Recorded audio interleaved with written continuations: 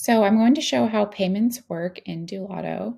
When you are at your homepage, there's a couple ways that you can get to payments or invoices. You can either click on your clients and you can view their invoices from here, or you can go to billing and you can view your invoices from there. So either way works. You can either have the client pay the invoice directly through the email that they receive, or you can also have them pay by credit card by clicking this make a payment. You will likely need a credit card authorization form for this. Um, but if you do have that on file and they are okay with you entering it in, you can add in their payment method here. And you can hit pay now. This little warning message will come up here just saying that the invoice has not been approved by the recipient. But if your client knows that you're paying it, you can just go ahead and hit yes, continue.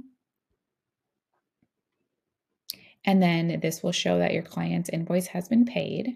I'll go ahead and add a new invoice so that I can show you how it looks when the client goes in and pays their invoice themselves.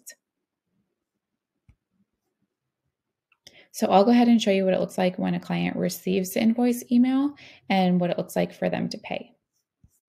This is what it'll look like when your client receives the invoice email. When they click view invoice, it'll look like this. It will show them the total amount due and that they can make a payment. Then they can enter in their payment information here and click pay now.